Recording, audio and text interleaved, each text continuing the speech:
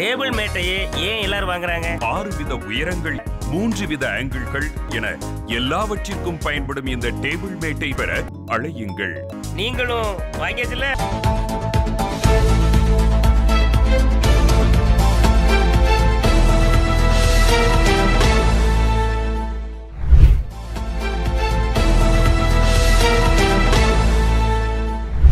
பொதுமக்களுக்கு நஷ்டஈட்டை வழங்குவதற்கான போதிய பணம் ராஜபக்சேக்களிடம் உள்ளது.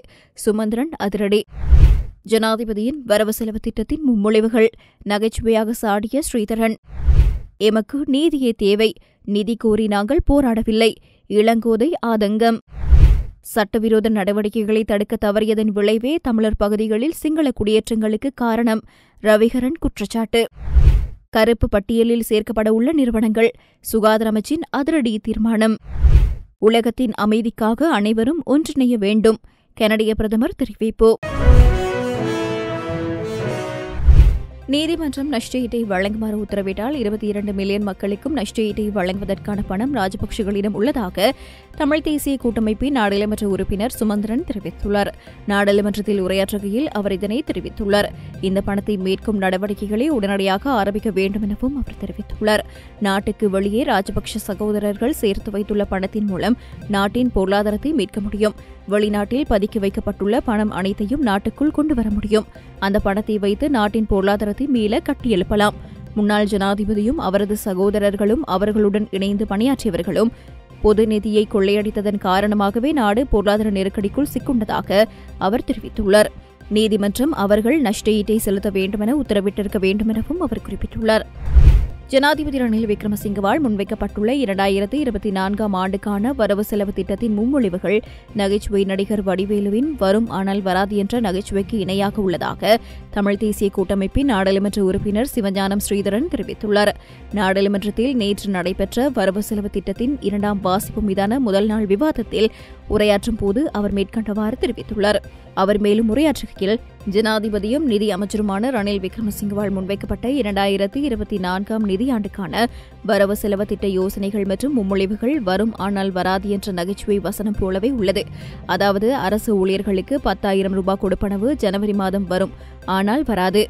அடுத்த ஏப்ரல் மாதத்துக்கு பின்னர்தான் அதனை பற்றி யோசிக்கலாம் என ஜனாதிபதி மறைமுகமாக குறிப்பிட்டுள்ளார். நாட்டில் வரவு செலவு திட்டம் சமர்ப்பிக்கப்படும் போது நம்பிக்கை என்பது சரியாக சொல்லப்பட வேண்டும். பத்திரிகைகளில் பார்த்தால் அரசு ஊழியர்களுக்கு பத்தாயிரம் ரூபாய் கொடுப்பனவு என்றுதான் உள்ளது. ஆனால் அது ஜனவரி முதல் என்று சொல்லப்பட்டாலும் இரண்டாயிரத்தி இருபத்தி நான்கு ஏப்ரல் மாதத்துக்கு பிறகுதான் பெற முடியும். இந்த இடைப்பட்ட காலத்துக்குள் எதுவும் நடக்கலாம். நாடாளுமன்ற தேர்தல் அல்லது ஜனாதிபதி தேர்தல் கூட நடக்கலாம். எனவே இவ்வாறான ஏமாற்று நடவடிக்கைகள் அரசிடம் இருக்கும் வரைக்கும் அரசால் சரியானதொரு பாதையை தெரிவு செய்ய முடியாது. அரசு ஊழியர்களையும் சரியான பாதைக்கு கொண்டு செல்ல முடியாது. கடந்த காலங்களிலும் பல யோசனைகள் முன்வைக்கப்பட்டன. ஆனால் எந்த முன்மொழிவுகளும் செயற்படுத்தப்படவில்லை. வருடாந்த வரவு செலவு திட்டம் என்ற ஒன்றை சமர்ப்பிக்க வேண்டும் என்பதற்காகவே இங்கு வரவு செலவு திட்டம் சமர்ப்பிக்கப்பட்டுள்ளதாக அவர் தெரிவித்துள்ளார். நாடாளுமன்றத்தில் சமர்ப்பிக்கப்பட்ட பாதீட்டில் வலிந்து காணாமலாக்கப்பட்டவர்களுக்கு நிதி ஒதுக்கீடு செய்யப்பட்ட விடயத்துக்கு வலிந்து காணாமலாக்கப்பட்டவர்களின் உறவுகள் கண்டனம் வெளியிட்டுள்ளனர். நீதியே எமக்கு தேவை எனவும் நிதி கோரி நாம் போராடவில்லை என யாழ் மாவட்ட வலிந்து காணாமலாக்கப்பட்டவர்களின் உறவினர்களின் சங்க தலைவி சிவபாதம் இளங்கோதை தெரிவித்துள்ளார். யாழ் ஊடகமயத்தில் இன்று இடம்பெற்ற ஊடகவியலாளர் சந்திப்பில் அவர் இவ்வாறு தெரிவித்துள்ளார்.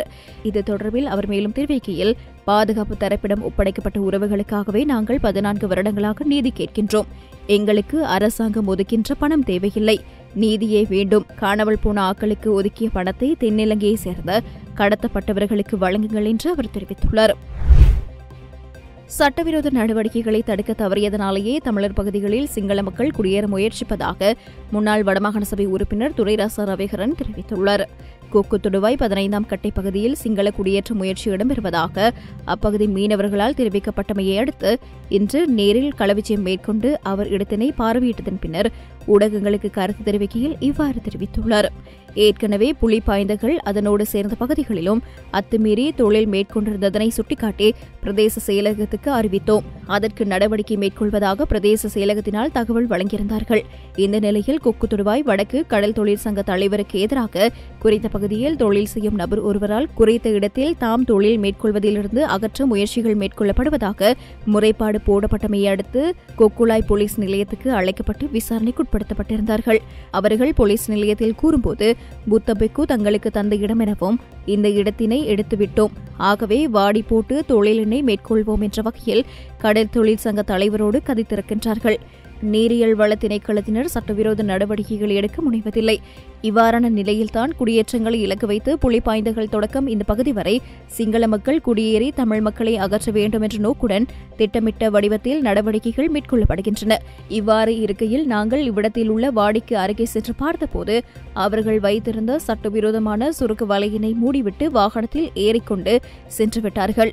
பட்டப்பகலிலே சுருக்கு வலையினை கொண்டு தொழில் செய்யும் நடவடிக்கைகள் இவ்விடத்தில் அரங்கேறிக் கொண்டிருக்கின்றது.